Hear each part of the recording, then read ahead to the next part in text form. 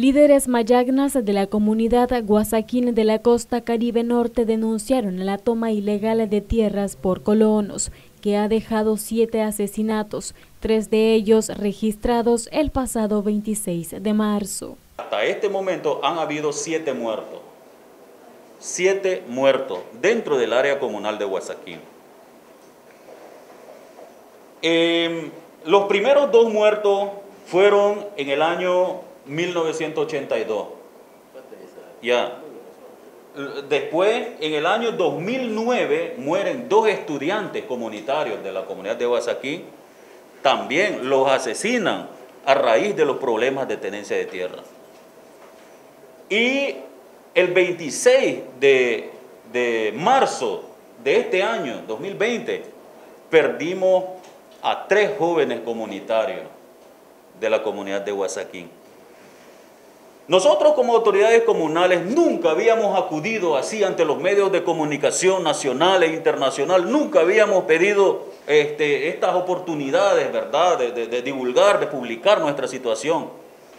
Pero hasta este momento consideramos que ya es demasiado. Las violaciones a los derechos humanos este, eh, en la comunidad, las imposiciones, ¿verdad?, de parte de las autoridades territoriales, ¿verdad? De, de las autoridades regionales, municipales, ¿verdad? De igual manera, los líderes mayagnas manifestaron que ya han interpuesto denuncia ante la CIDH.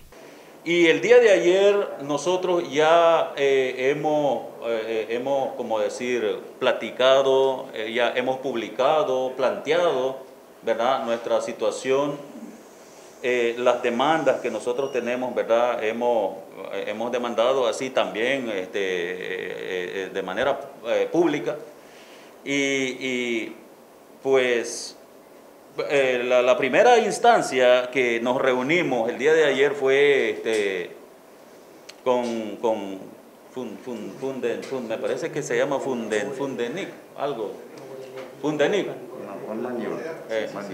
entonces, ahí nosotros pues eh, eh, nos hizo el enlace con el alto comisionado de las Naciones Unidas, ¿verdad? Con el alto comisionado de las Naciones Unidas y con después tuvimos otra entrevista, ¿verdad? También y logramos eh, divulgar y, denunciar de manera pública, ¿verdad? Este, ante, ante la Comisión Interamericana de Derechos Humanos. Noticias 12, Anduriña Ortiz.